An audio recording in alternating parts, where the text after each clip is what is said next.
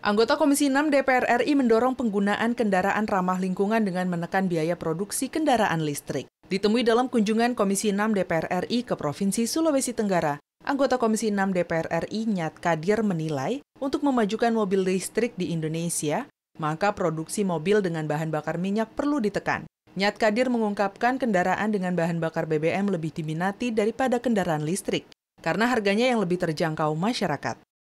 Nah ini sedang dicari akal oleh uh, pihak pemerintah dan yang terkait bagaimana harga baterai itu bisa murah.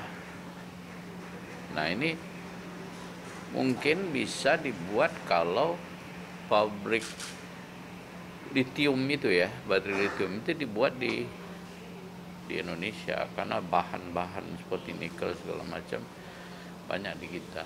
Nyat Kadir mendorong pemerintah terus melakukan kajian terkait industri baterai di masa yang akan datang, khususnya untuk kendaraan listrik. Nyat Kadir berpendapat hal tersebut perlu dipersiapkan dengan baik dengan memetakan tren yang ada di pasar global. Nanti kalau energi ramah lingkungan ini sudah sudah eksis, ini dengan sendirinya berkurang.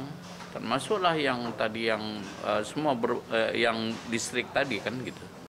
Nyat Kadir mendorong peralihan dari kendaraan dengan bahan bakar listrik ke kendaraan listrik perlu disosialisasikan kepada masyarakat.